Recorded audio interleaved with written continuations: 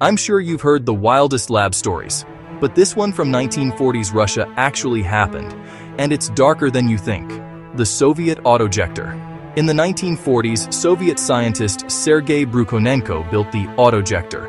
Reports say he attached it to severed dog heads, to pump blood into the head, and to deliver oxygen to the tissues, keeping reflexes and some responses going. Modern historians debate how dramatic the results really were. Ethics aside, the experiments shocked the world then, and they still unsettle us now. It helped drive early ideas about life support and shaped early thinking about circulation, but it came at a huge moral cost. If you want the full rundown, I'll break it down in the next video.